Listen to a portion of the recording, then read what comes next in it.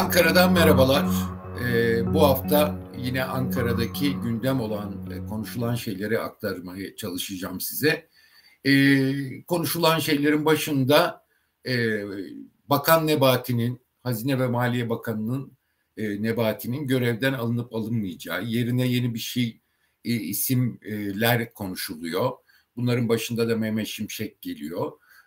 Bununla ilgili kulis bilgilerini anlatmak istiyorum.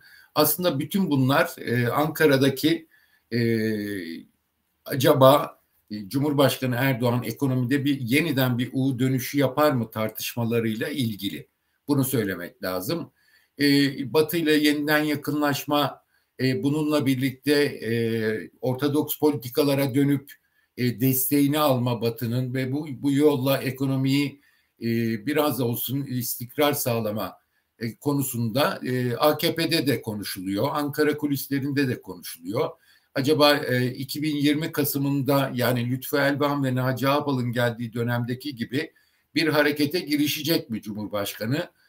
bu konu çok tartışılıyor.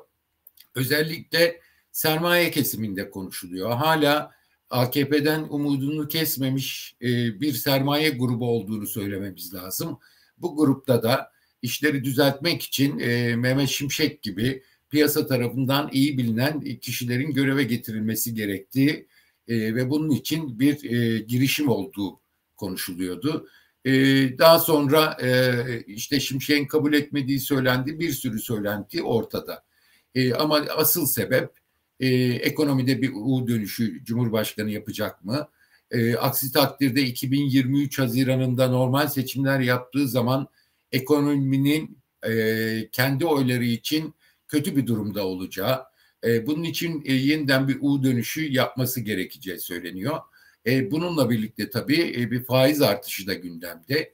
E, gelecek kişilerin e, faiz artışı yapıp yapmayacağı, Cumhurbaşkanının e, müdahil olmaya ne kadar devam edeceği, bütün bunlar da tartışma konusu ve bunlara bağlı olarak da değişik isimler kulislerde konuşuluyor. Ama ortada olan bir şey var. Onu söylemek lazım. E, Bakan Nurettin Nebati'nin yeri pek sağlam değil.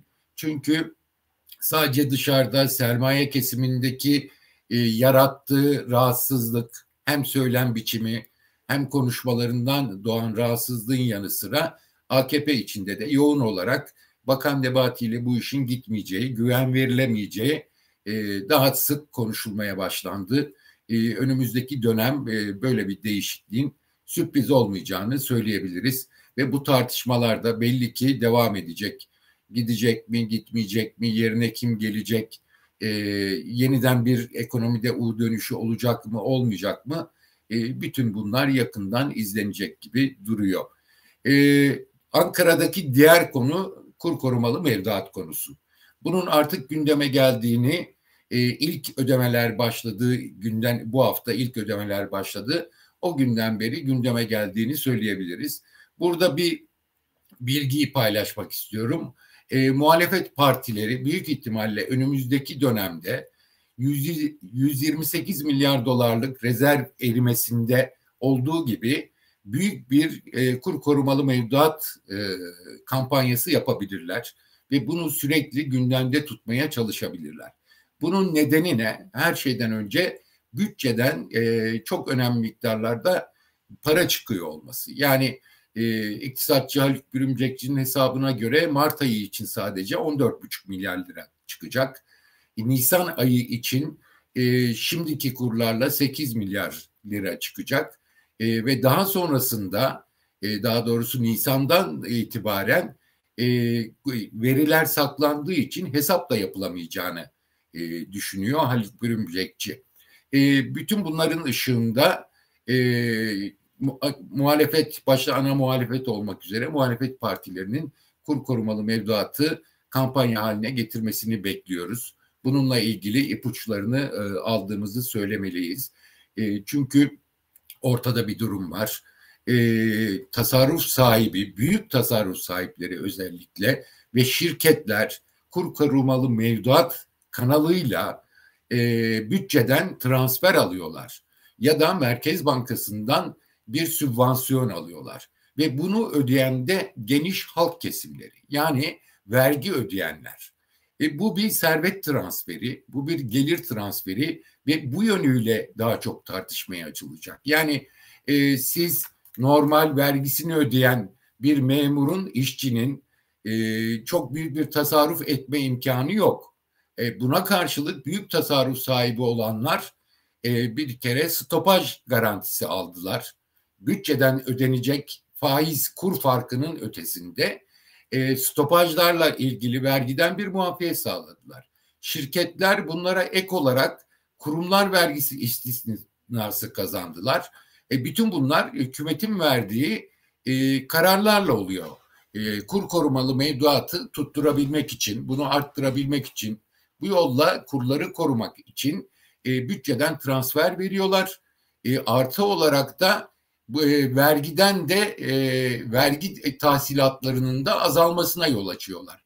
Bu da katmerli bir biçimde bütçeden e, büyük tasarruf sahipleri ve şirketlere kaynak aktarımı anlamına geliyor. E, artı bir başka yönü var. E, kuru korumak için çünkü kur korumalı mevduatta eğer e, kurlar daha yukarı çıkarsa çok yüksek miktarlarda bütçeden e, para gidecek. Bu yüzden de bunu biraz sınırlamak için kuru tutmaya çalışıyorlar. E, kuru tutmaya çalışınca da Merkez Bankası e, rezervlerinden, resmi rezervlerden erime sağlanıyor. Erime yapmak zorunda kalıyorlar. Yani e, son 18 Mart verilerine göre yeniden e, eksi 45 milyar doların üzerine çıktı swap hariç net rezervler. Buna rağmen e, döviz satmaya devam ediyorlar. Az ya da çok döviz at, satmaya devam ediyorlar. Tabii ki hep söylüyoruz yabancıları e, piyasadan çıkarmış olmaları e, bu kurları koruma konusunda ekonomi yönetimine rahatlık sağlıyor. E, bu, bu da tabii başka bir soru gündeme getiriliyor. Son iki yılda yabancılar acaba bilinçli olarak mı e, dışarı gönderildiler, e, piyasadan el çektirdiler. Böylece e, rasyonel olmayan ekonomik kararlarla bile e, bu şeyi ekonomiyi yönetmeye kalkışmak, itirazları önlemek. Çünkü e, kurda ani oynaklıklar oluyordu yabancılar olduğu zaman, yanlış kararlar alındığı zaman bunun da önüne geçmiş oluyorlar. Özet olarak kur korumalıyı devam ettirmek istiyorlar ve bunu büyük ölçüde servet transferi, kaynak transferi yaparak özellikle dar ve sabit gelirlerden alınan vergiler nedeniyle vergi yapısı da e, buna ilişkin biliyorsunuz çarpık bir şey. Daha çok oradan alınıyor vergi, tüketimden alınıyor. E, buradan sağlanan gelirleri de e, şey büyük tasarruf sahiplerine, küçük tasarruflar sahiplerinin aldığı pay o kadar e, büyük değil çünkü asıl olarak yüksek miktardaki mevduatlar için, kur korumalı mevduatlar için e, ve şirketlerin kur korumalı mevduatları için geçerli. Burada başka bir sorun ortaya çıktı. E, bütçeden de alıyor, bankadan da alıyorsunuz faizi ama e, öyle bir şey geliyor ki hem bankaların e, alım ve satım kurları arasındaki fark hem de banka sigorta muameleleri vergisi nedeniyle e, vade sonunda yeniden dövize e, geçmeye çalıştığınızda bunun karlı olmadığı hatta zararına ya, yol açtığı görüldü. O yüzden de e, geçtiğimiz hafta içerisinde binde ikilik banka sigorta muameleleri vergisi de azaltıldı, e, kaldırıldı ortadan. E, bununla ilgili bir cazibe kazandırmak için. Buna rağmen döviz mevduat, döviz tevdiat hesapları da artmaya devam ediyor. E, kur korumalı mevduat son e, bakıldığında e, bu kadar kritik bir hale geldi. Burada ikinci bir e, başlık atmamız gerekiyor. E, bunu da bir şüphe olarak söyleyebiliriz şimdiden. Gerçekten olacak mı olmayacak mı bilmiyoruz.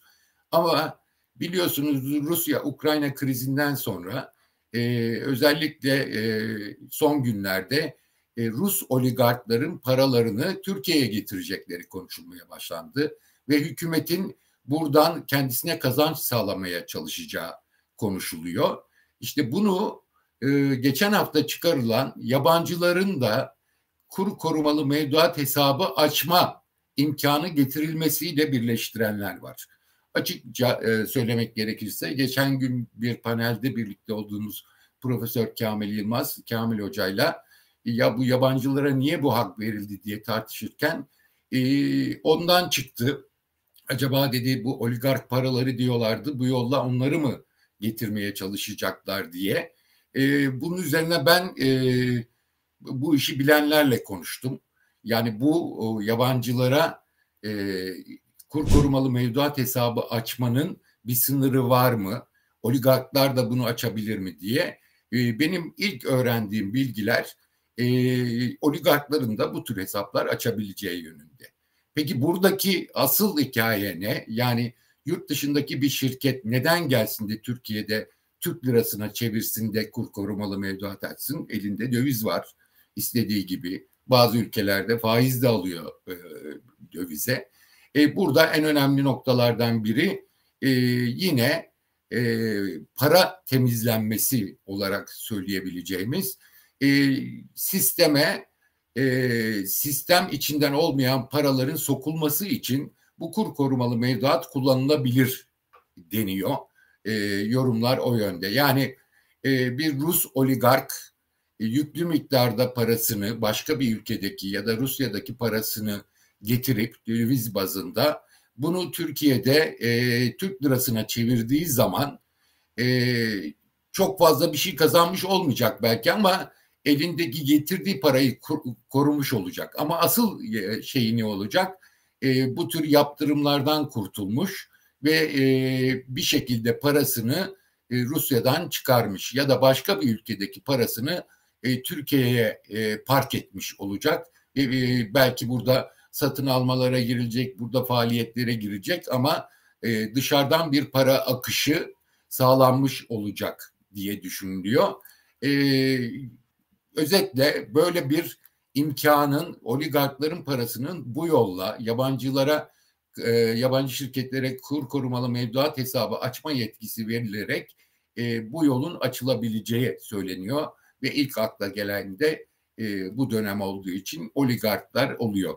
Peki e, Türk tasarrufçusu, Türk vergi vereni, mükellefi e, hem büyük tasarruf sahiplerini bu şekilde finanse ediyor bütçe kanalıyla hem de şirketleri finanse ediyor. Yani fatura yine e, dar ve sabit gelirliye e, çıkıyor. Bir de bu dar ve sabit gelirli şimdi oligarkları da mı finanse edecek? E, bu, bu çok önemli e, bir konu haline gelebilir önümüzdeki dönemde. Ya da yurt dışından gelen şirketlerin parasını mı finanse edecek, aradaki farkı mı finanse edecek? Bütün bunlar önümüzdeki dönemin tartışma konuları olabilir. Bu tartışmaları önlemek için e, başka bir nokta e, kurların korumak zorunda olması hükümetin. Yani e, 14.83 düzeyinde son günlerde sürüyor bu.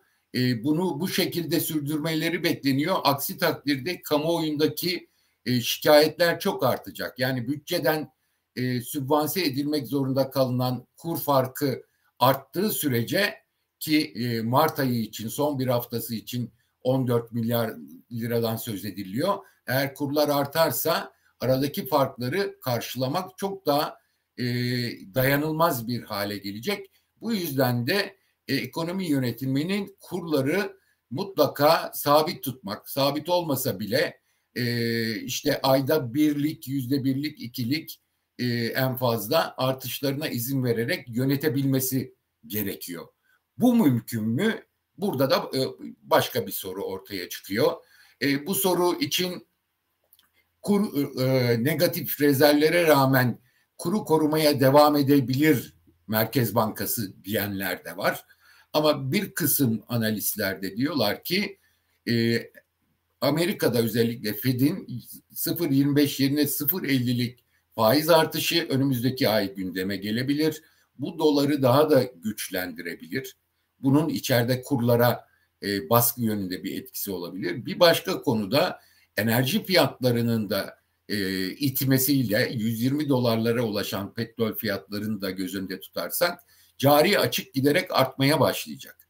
Ve bu birikimin birkaç ay sonra etkisini piyasada göstereceği söyleniyor. O yüzden de e, yaklaşık iki ay sonra bu e, kurun üzerindeki baskının artabileceği söyleniyor. Ama buna rağmen kur korumalı mevduatı korumak zorunda başka hiçbir dayanağı yok. E, ve bunun için Merkez Bankası Başkanı'nın son toplantısında da işte turizmde de iyi olacak, yıl sonundan itibaren de enflasyon düşecek gibi söylemler ileri sürülüyor. Yani giderek çok daha kritikleşiyor durum.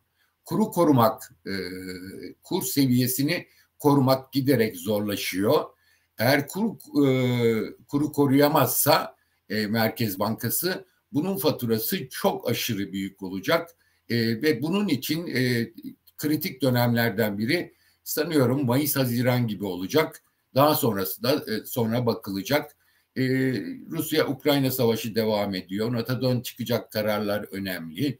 E, yaptırımlar önemli. Ruble ile e, Rusya'nın alışverişi e, kararı alması önemli. Bütün bunları izlemeye devam edeceğiz.